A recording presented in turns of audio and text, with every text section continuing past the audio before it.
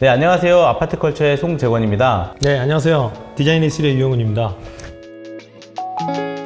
이번 프로젝트 같은 경우는 인테리어뿐만 아니라 건축까지 같이 한 것에 있어서 좀 의미가 있어서 저희가 촬영 요청을 드렸었고 아직까지 외부에 그렇게 많이 노출돼 있었던 프로젝트가 많지가 않습니다. 근데 흔쾌히 이번 현장을 저희 이제 아파트 컬처를 통해서 노출을 해주는 걸 동의해 주셨고 건축과 인테리어가 어떻게 잘 버물려져서 프로젝트가 좋게 나왔는지를 한번 이야기 나눠보려고 합니다. 보통은 건축하고 인테리어라고 한다면 업계에서는 건축에서 골조나 외형을 해놓고 내부를 보통 건축회사에서 하거나 아니면 조금 잘해보겠다 하면 인테리어 회사에 맡기는 경우가 있어요. 네. 근데 이번에는 제가 듣기로는 거꾸로 인테리어를 굉장히 잘하는 에이스라는 회사에 건축 프로젝트가 들어왔고 거꾸로 안에서부터 외장으로 설계한다라는 개념으로 공간을 만들었다고 들었거든요. 뭐 대부분 집을 지었는데 네. 집을 지어놓고 나니 이런 게 불편하더라. 음. 또 이런 건 아쉽더라. 네. 혹은 멋만 있더라. 네. 라는 그런 집을 짓게 됩니다. 멋이라고 하는 건 주로 이제 건물 외형에 대한 말씀이시죠. 네. 근데 집이라는 건 사실 어, 시간이 지났을 때 더 편하고 음. 지날수록 더 내 마음에 들고 네. 그게 집 아니겠습니까? 맞습니다. 그래서 네. 안에서 밖으로 지어보자. 네. 라는 생각으로 이번 프로젝트에 임했고요. 사실은 이 그 토지가 갖고 있는 여러 가지 조건들, 음. 네. 건폐율, 용적률이 네. 많이 모자랐고 네. 또 앞뒤로 긴 모양이어서 네. 안치기에도 쉽진 않았습니다. 그래서 앞으로 해서 길이 길다라는 거는 이제 뷰가 있는 방향에서부터 네, 말씀이시죠? 네. 뒤쪽으로 긴 음. 토지를 갖고 있어서 네.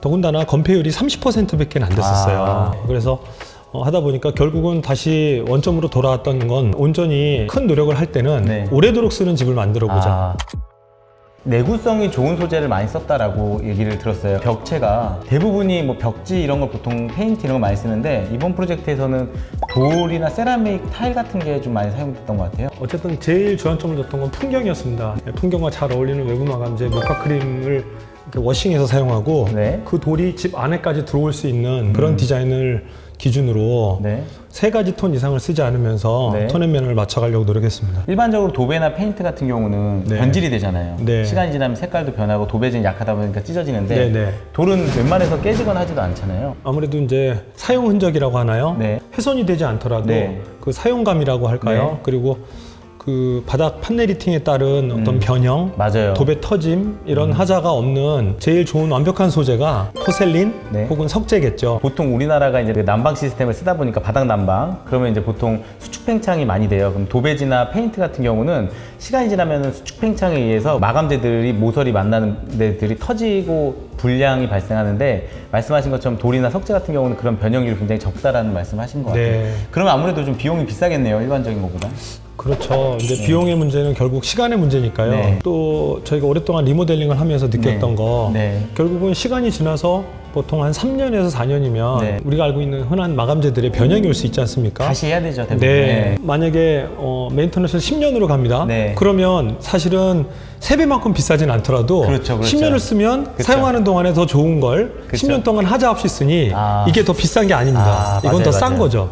그런 이제 개념이 네. LCC라는 개념이 있거든요. 네. life cycle cost라고 해서 아, 그렇죠. 건물 생애 주기라고 해서 네네네. 건물을 사용하는데 음. 만약에 이제 40년 사용한다고 했을 때 그때까지 발생한 유지 관리 비용을 다 더한 다음에 나누는 아, 거예요. 그러네요. 근데 그런 개념이 약간 들어가서 실제 좋은 네. 건축물을 지을 때는 네. 약간 내구성 좋고 가격이 비싸더라도 좋은 걸 하는 게 좋다. 네. 실은 저도 이제 전체적으로 좀 둘러봤었는데 네. 정말 좋은 소재들이 많이 있더라고요. 그러니까 일반적으로 내부 인테리어만 한다고 했을 때 쓰지 않을 만한 소재들, 당장 창호만 해도 이제 이건 창호에서 가장 높은 등급의 창호가 들어가 네. 있고 또 벽체도 지금 다 600에 1200짜리 음. 거기에다 이제 special 세라믹 타일이 들어간 걸 보고 와 딱 들어오면서 벌써 압도된 게 느껴졌거든요. 네. 그리고 아까 말씀하신 것처럼 단독주택이 갖고 있는 그 특징을 굉장히 잘 살렸다고 들었어요. 그러니까 네. 이게 이제 아파트 같은 경우는 수평적인 면적을 잘 활용하는데 단독주택 같은 경우는 아무래도 이게 수직적인 동선들을 많이 활용한다고 그렇죠. 들었는데 네. 특히나 이번에 채광에 대해서 굉장히 많이 신경 썼다고 하시는데 아무래도 주택에서 창을 많이 낸다는 건 음. 개방감을 주고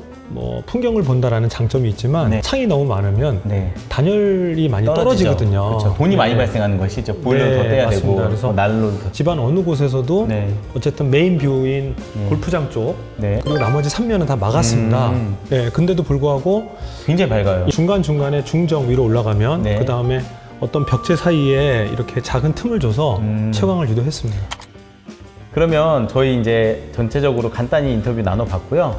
이 프로젝트가 왜 좀 더 특별한지 또 왜 안에서부터 외부로 나갔을 때 느낌이 어떤지 건물 외형에서부터 분명히 뭔가 달라요. 그 다른 부분들을 저희 유 대표님을 통해서 한번 직접 들어보도록 하겠습니다. 한번 그럼 네. 밖에서부터 좀 슬슬 들어볼까요? 네, 네. 나오시죠.